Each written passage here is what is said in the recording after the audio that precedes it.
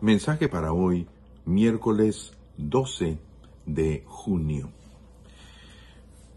Estamos leyendo en, este, en esta semana pasajes de la vida del profeta Elías.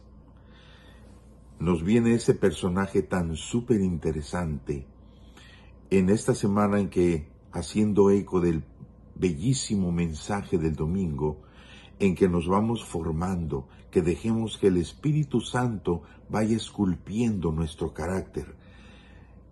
Qué bien que nos viene a mano este profeta. Porque este profeta, nosotros vemos cómo Dios lo va moldeando. Porque era un profeta muy primario, tenía, una, tenía un carácter muy arrebatado. Pero aún con todo, era un profeta. Y vemos cómo Dios le responde, porque él ama a Dios y lo pone. Es, ¿Por qué tan, es tan especial el profeta Elías? Porque se dedicó por completo, siendo una edad muy antigua.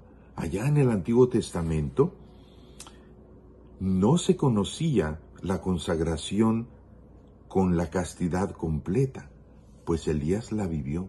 Elías no se casó. Elías se mantuvo casto para serle fiel a Dios en toda circunstancia y momento. Qué hermosa es la vida del profeta Elías.